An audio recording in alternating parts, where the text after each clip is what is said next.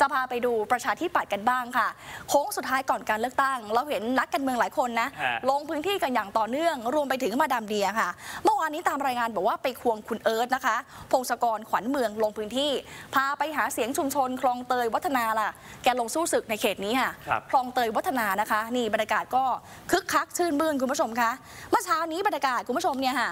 จะเห็นเลยนะคะ มาดามเดียคุณวัฒนยาบุญนาประธานคณะทำงานนวัตกรรมการเมืองกทม ของพรรคประชาธิปัตย์ลงพื้นที่หาเสียงพร้อมกับคุณพงศกรขวัญเมืองนะคะ ผู้สมัครสก กทม เขตวัฒนาคลองเตยหมายเลข 5 ค่ะ ก็ขึ้นรถแห่ไปที่แฟลต1แฟลต10 นะคะ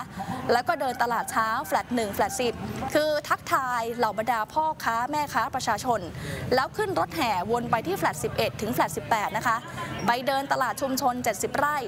ผลตอบรับนี่ พี่น้องประชาชนนะ มาขอถ่ายเซลฟี่ มามอบดอกไม้ให้นะคะ กระแสตอบรับก็ดีทีเดียวค่ะคุณเอิร์ธพงศกรบอกมั่นใจนะคะ รอบนี้ทำเต็มที่ แล้ววันนี้ก็มีมาดามเดียมาช่วยตรวจลงพื้นที่ด้วยนะคะ โดยเฉพาะกลุ่มวัยรุ่นในกระแสตอบรับดีมาก ต้องขอบคุณมาดามเดีย และก็พรรคประชาธิปัตย์ที่ให้การสนับสนุนมาโดยตลอด ส่วนพื้นที่เขตวัฒนาคุณเอิร์ธบอกค่อนข้างมั่นใจสูงค่ะ ในอดีตพรรคประชาธิปัตย์ชนะมาโดยตลอดนะคะ และก็มีไม่กี่ครั้งที่ไม่ชนะสำหรับครั้งนี้ได้รับกระแสตอบรับค่อนข้างดี ผลโพลสำรวจความนิยม 2 สัปดาห์ที่ผ่านมาค่อนข้างสูงด้วยนะคะ เขตวัฒนาโดยเฉพาะของประชาธิปัตย์ค่ะ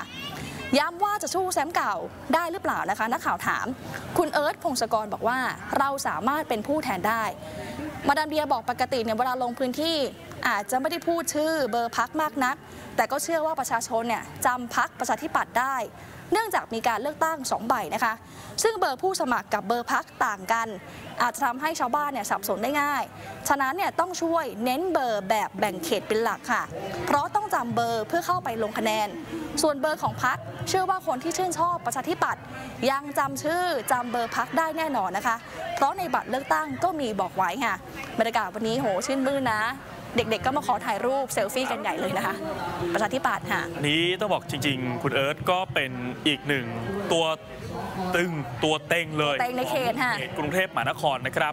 ท่านผู้ชมครับ การเลือกตั้งกรุงเทพนี่ว่ากันว่าอาจจะเป็นการตัดกันของสองพักหลักก็คือเพื่อไทยกับก้าวไกล น่าจะได้สสเยอะ แล้วก็มีการแข่งขันกันสูงในหลายพื้นที่ เพราะฉะนั้นเขาเลยบอกว่ารอบนี้เนี่ยถ้าเกิดจะมีใครที่เป็นตะอยู่นะ 20,000 คะแนน น่าจะได้เข้าไปนั่งในสภาแล้ว ทีนี้พอไปไล่เลียงฮะ ต้องบอกว่าคุณเอิร์ธเองก็มีฐานพอสมควรค่ะอะไม่แน่ใจทีมงานขึ้นกราฟิกให้ดูหน่อยได้ไหมคือสกตาย เขาก็สนับสนุนอยู่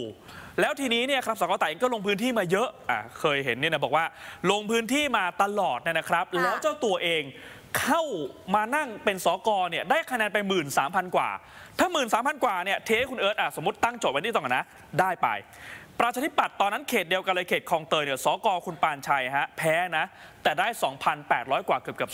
2,009ถ้าเกิดว่าทางสกของประชาธิปัตย์เทคะแนนมาให้กับคุณเอิร์ธ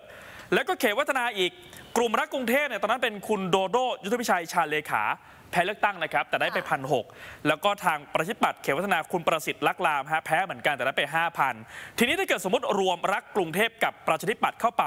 นี่ 20,000 กว่าเข้าไปแล้วนะ ก็แปลว่าคุณเอิร์ธเองก็มีโอกาสอยู่เหมือนกันฮะนี่ยังไม่รวมคะแนนสสเปียกสองคุณอนุชาอีกนะฮะได้ประมาณสักหมื่นสามสำหรับพรรคประชาธิปัตย์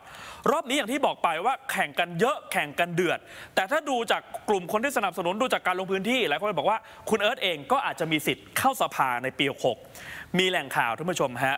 ของประธิปัตย์แหละในสายสกเขาก็ประเมินให้เราฟังนะก็บอกว่า 4 เขต เขามีลุ้นก็คือเขต 4ครองเตยพัฒนาคุณเอิร์ธนี่แหละค่ะเขต 12 สายไหม เขต 21 ประเวศนะครับ แล้วก็เขต 26 บางขุนเทียนจอมทอง อันนี้คุณสุมัตเอ่อคุณสุวัสดิ์ม่วงสิริ อันนี้ก็เรียกว่าเป็นตัวเต็งอยู่แล้วเนี่ยนะครับ แต่ก็มีโพลจากในพักเหมือนกัน เขาบอกว่าคนที่คะแนนดีที่สุดน่าจะเป็นคุณชนินนะ เขต 33 บางพลัด บางกอกน้อย แต่ยังว่าแหละครับท่านผู้ชมครับ คือตอนเนี้ย โพลหรือความมั่นใจก็ส่วนหนึ่ง แต่ว่าสุดท้าย 14 พฤษภาคมฮะเราจะมีโอกาสได้รู้ว่าใครบ้างที่จะได้เข้าสภาเพียงแต่ว่าอันเนี้ยหยิบยกคุณเอิร์ธมาเพราะบอกว่ามีโอกาสสูงมากของพรรคประชาธิปัตย์หลังจากที่หลายที่บอกว่าเอ๊ะพรรคอื่นอาจจะได้คะแนนน้อยแต่ว่าถ้าตัดไปตัดมาคุณเอิร์ธมีสิทธิ์เหมือนกันเพราะดูแล้วเนี่ยคะแนนกลุ่มคนที่น่าจะสนับสนุนก็เรียกว่าน่าจะพอที่จะส่งเข้าสภาได้ครับ